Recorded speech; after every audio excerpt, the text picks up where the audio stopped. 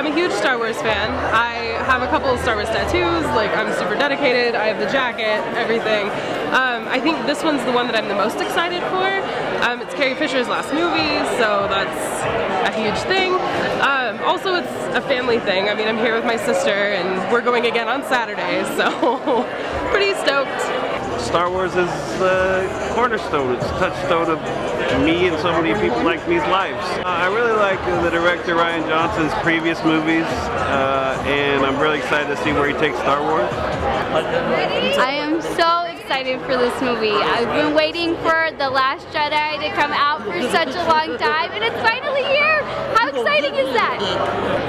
Really like Rey's character, so I'm excited to see how they develop that more, and of course I want to see more of Luke and Mark Hamill and Luke Skywalker, see what he's up to, and what is going on now with the Force. It's all very crazy. Uh, may the Force be with you.